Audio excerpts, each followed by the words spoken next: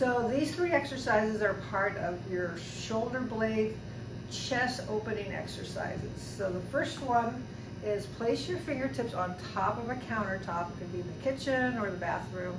You're gonna be about oh, maybe two feet away and lightly touch yours, not leaning.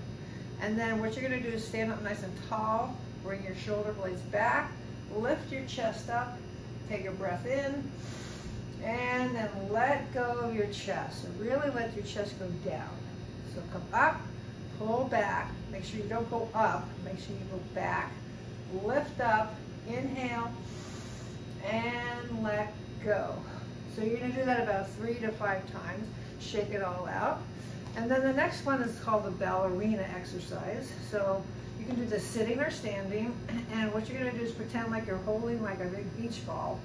And you're gonna raise your arms up very gracefully. As you come up here, you inhale, look up to the sky, and then as you come back, try to reach behind you, and then really let your rib cage drop as you exhale.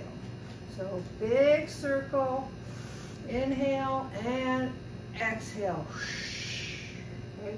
Make sure that rib cage is dropping down as you come back down. Inhale and exhale. So you're going to do that about three or four times. And then the last one is the ballerina, um, backward swimming.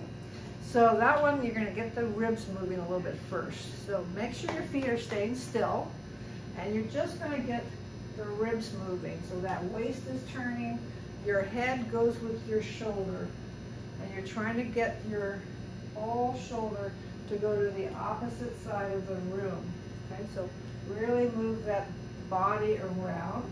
And then let your arms hang, and then you're gonna bring one arm up, make sure the palm is facing in, come right to your ear. Then you're gonna turn with your head and your body and do a big swimming motion with your arm. Come back to the middle, arm to the ear, turn around and try to reach to the farthest part of the opposite side of the room. Up, inhale, around, exhale. Up, around, exhale. And that's backward swimming.